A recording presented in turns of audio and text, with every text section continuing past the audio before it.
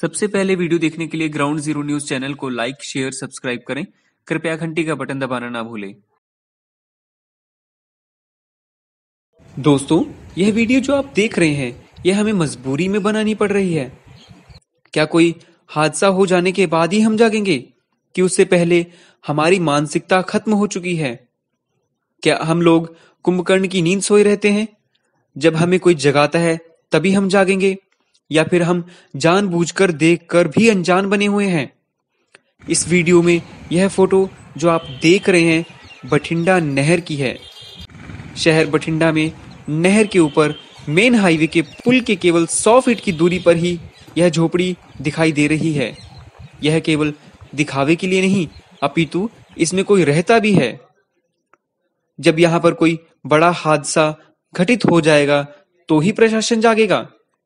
इसे देखने से लगता है कि यह झुग्गी आजकल में नहीं बनी है और ना ही किसी सुनसान इलाके में है। इस रोड से दिन भर में सैकड़ों गाड़ियाँ गुजरती हैं। यह झुग्गी नहर की सीमा में बनी हुई है। कभी भी पानी के बहाव में इनको बहाकर ले जा सकती है। यह झुग्गी नहर के अंदर तक बनी हुई है। इसमें रहने वाले लोगों को कभी भी बहाकर ले जा सकती है। यह देखिए, चूल्हे भी बने हुए हैं। लगता है जैसे रोज़ाना भोजन पकता हो। नहर के ऊपर बनी यह झोपड़ी के ठीक सामने वीआईपी गेस्ट हाउस भी बना हुआ है। दोस्तों, आप सबसे निवेदन है कि आप रोज़ाना गरीबों की मदद करने वाले मैसेज और वीडियो भेजते हैं। कृपया इसे भी शेयर करें और आगे बढ़कर इसकी मदद करें।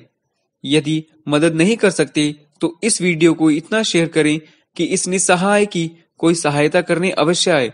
ताकि इस घटना को घटित हो जाने से पहले ही रोका जा सके और ऐसा ना हो कि अगर घटना हो जाए और हम सिर्फ़ अफसोस जताकर ही ना रह जाएँ।